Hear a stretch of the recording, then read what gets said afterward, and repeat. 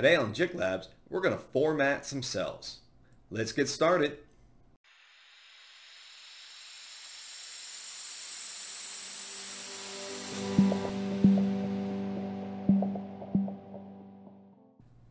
Today we're going to take our data from looking like this and make it look like this. We're going to go over all the formatting tricks that can help you transform your data to a much more visually appealing table. So we're going to jump back over to our original data and we're going to look at this. First thing that it is, we want to put a title into our Excel sheet. So we're going to click on line 1 because we want to insert a line above it. And on our Home tab, on the right hand side, we can click on Insert. You can also right click and say Insert Rows, but today we're just going to do that with our Home ribbon. Next thing we want to do is have Sales 2021 JiK Labs Sales Report Centered. So we type that in the cell A1. Well, that's not centered. Well, we come up to the home ribbon and we click on center. Well, that doesn't do it. Well, you know what? What if I make cell A bigger? No, that still doesn't do the trick. Luckily for us, Excel has a built-in feature. If we're going to highlight everything above our columns, that would be A through G, and we come up to the top on the home ribbon and we click on merge and center. It's going to eliminate all the borders and all the spaces between the cells and in essence make it one giant cell. And it's going to center whatever we have there. So we're going to click on that and here we go. Now if you click on A2 you can see this is all in A2 but if we come back up at the top it's A through G1 is all one one cell so we're going to make it a little bit larger and there we go that's one step closer we want to change the date. We want them more uniform. So we're going to highlight all of our cells and we're going to hit control 1. Control 1 brings up the format cells window. And since we want to look at the dates, that's going to be a number. So you can number, general, number, accounting, so on and so forth, time, but we're looking at dates. So we're going to select date and we want to have the two digits for month two digits for day, and two digits for the year. And if you click on any of these, you'll have a sample right here. We're going to hit OK, and we're going to see that all the dates have changed to the formatting in which we selected. So that's one start. Next thing we want to do is we know all of these in D through F and the totals are in dollars. We can come back up to the General tab and just click on the dollar sign and that will default everything here to the dollars. We also know the max, min, and average sales were also in dollars. So we're going to click on that and set everything as dollars. GP percentage we know was percentages. So we're going to highlight all of this data. And then right here in the home ribbon, we're going to click on percentage. But to show you another way, we're going to hit control 1 and bring up the formatting cells window. Now that we have the formatting cells window come in, we can come in here and we're going to see that it is a percentage. And it we can set it for the decimal places zero decimal places or we could have as many decimal places as we want. If we hit OK we can see that now everything is formatted with percentages up to three decimal places. The same thing could be accomplished in the home ribbon by clicking on the percent sign and using here these two increase decimals and decrease decimals. So we want to decrease, or I'm sorry, we want to increase the decimals. So we click on that. We want to decrease and just show whole numbers. We click over here. Uh, they can be done both through control one, which is cell formatting, or here on the home ribbon. Next thing we want to do is highlight our header column and we want to give it a nice slant just for visualization. So we can come up here. It has a shortcut key for orientation. This would automatically rotate everything 45 degrees, but it has a drop-down window, so it's not very good for showing. So once again, we're going to go to Control 1, Formatting Cells, and we're going to go into Alignment. In Alignment, we can set a bunch of features. We're going to go to over here on the right-hand side. You have 90, 45. So we want to select 45 degrees. You could also come down here and, you know, do 43 and it will change it up here as a sample. But we're going to just keep everything at 45. For now, we're going to leave everything horizontally centered and vertically on the bottom and we're going to hit OK. And now we can see everything is formatted that we had highlighted in row 2 in our header column is now at 45 degrees. Now let's just say we want everything centered in these, all of our data centered. Once again, we highlight everything we want to change. We come back up to the home ribbon and we can hit the center right here and it will center all of our data. Once again, if we hit control 1 and we bring up the formatting cells window after we hit control 1, we can do right here, it, everything will be set centered horizontally and vertically it will be on the bottom of the cell. And if we hit OK, we will see everything exactly the same as it was. Now let's just say, for example, we make the height of row 13 a little bit taller. Since this is formatted at bottom of the cell, everything stays at the bottom. Let's highlight these cells again, go into Control 1, format the cells window, and we want to, everything vertically center. And we're going to hit OK, and we'll see that, that now this data is in the center of this row. If we make it bigger or smaller, it will remain centered within that row. Now we're going to make this row a little bit back to size to keep with our formatting of our example over here. Remember our end goal is to make this sheet look like this sheet. So I've noticed we wanted everything down here centered as well. So we will highlight and click the center button. We also want to bold these titles.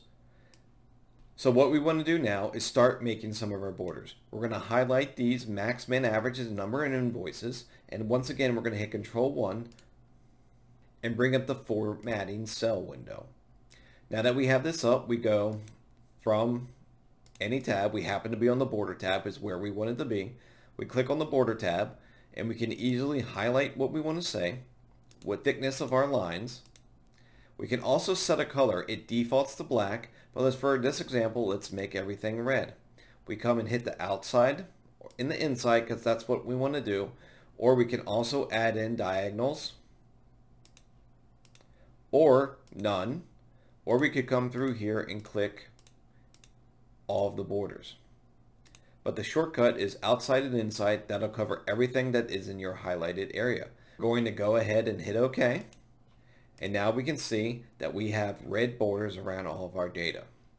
Now we want to highlight the rest of our data so that we can set the borders. Again, you can come up to the home ribbon and do it through here, but we prefer going to the format cell window and setting everything that way and hitting OK. Now that you notice we have our borders, but now we have these two cells that we don't want with borders because it's just data blank spaces. So we can highlight these guys. And if we set no borders, it would take the borders off all the way around all of these guys, these two cells, A and B13, and it would leave no border on the perimeter. And that's not what we want. So once again, we're going to hit Control 1. We're going to look at our formatting cell window. We're going to look at the borders and we can see here we don't need a border on the bottom. We don't need a border on the left hand side and we don't need the border in between the cells. So we have left with a very weird looking 7 or this corner which is when we hit OK exactly what we wanted. A very long corner, it blacked out these cells and now we're good to go. Now we want to add a little bit of color to our cells. So we're going to highlight all the cells in which we want to add a color to. We can come in here and hit the fill color and it will automatically insert the color that it's selected to. Again, we can come in here, highlight, hit the little paint bucket, or again, you can hit Control 1, bring up your formatting of cells, go into Fill, select the color that you want, and hit OK.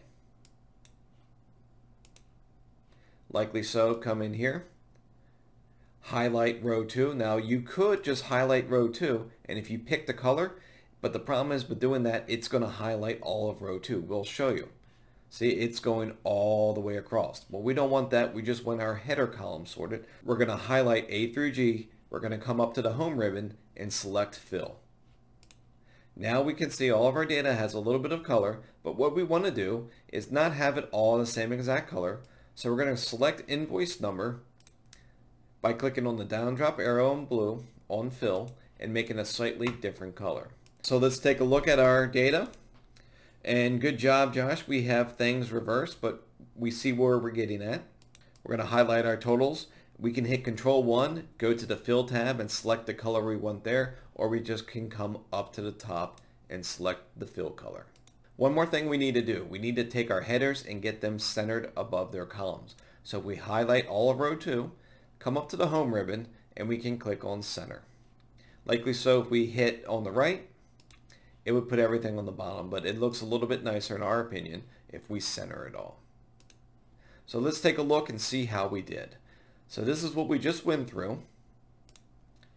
Eh, pretty close. I swapped the colors and we have this red border down here, but that was just an example to show you that your border did not have to be black. A little bit of formatting goes a long way.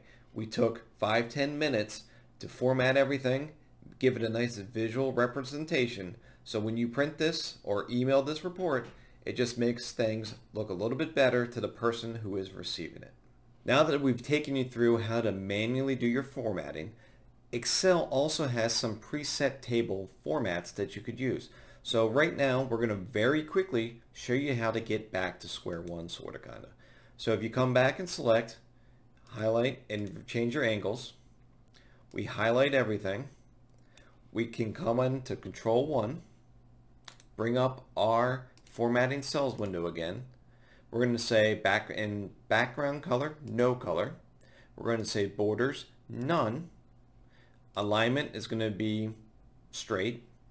And everything is going to be good. So there's one thing, everything we're doing on each one of these tabs, no color, no borders, alignment, all of that will change everything when we hit OK we can see that all of the borders and everything are gone. Now that we have pretty much all of our coloring and borders and everything taken care of, and we showed you how you can manually format and give your report its own flavor, Excel has a lot of built-in tables and formatting as well for you. So we're going to highlight our data. We're going to come into the format as a table and see all of these settings. We can come in here. We're going to select one style, blue and it's going to highlight, is this where your data is? And it's asking you, does your table have headers? Yes, it does. We're going to click OK.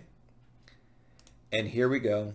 It has formatted our data as a table for us, our, applied the auto filters, and it has done everything we just did a little bit more quickly with a formatting. And it has even given every other line its own color.